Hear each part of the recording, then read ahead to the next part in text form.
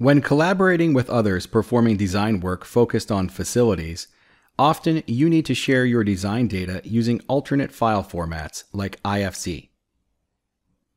SOLIDWORKS 2022 has focused on improving both the efficiency and reliability of saving IFC file formats out for other design tools to leverage.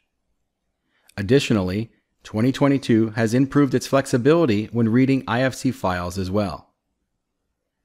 Now, when you open an IFC file, you can choose to filter specific object types to import, avoiding the need to open unnecessary geometry and focus on just the information you need to work with.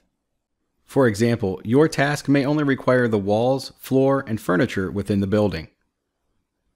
All of this means the imported files both open faster but also do not contain overly complex geometry for the specific design task you need to perform when working with IFC data. Also, new for SOLIDWORKS 2022 is the ability to better support the export of DXF and DWG file formats from part files. Components often contain color information that is important for manufacturing processes, such as the color of sketches, bend lines, and other information.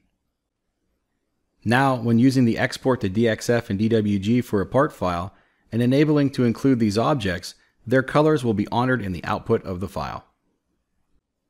This is extremely valuable for downstream operations where colors can represent different manufacturing processes or parameters for NC tool equipment.